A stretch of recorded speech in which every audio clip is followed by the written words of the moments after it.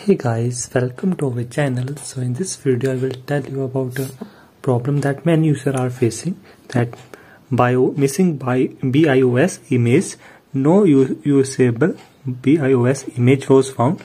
Do you wish to locate and import a bios image now? So how you can fix this problem? I will tell you in this video. You need to follow some simple steps and that will help you to fix this problem so what you need to do to fix this problem i will tell you. So there are some ways that you can try to fix this problem. Just google the bios for the system you are emulating and download it. Pop into the bios folder.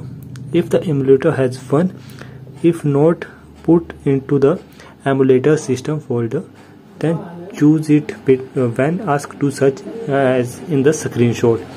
So you can try that.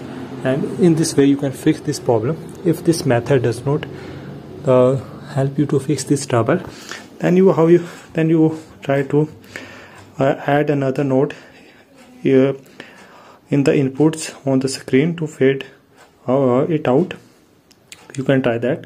And third method you can try that. Go to the controller setting and go to the touch screen tab. Press the touch screen controller view and press none. And change the touch screen controller port to 2 and you should be good.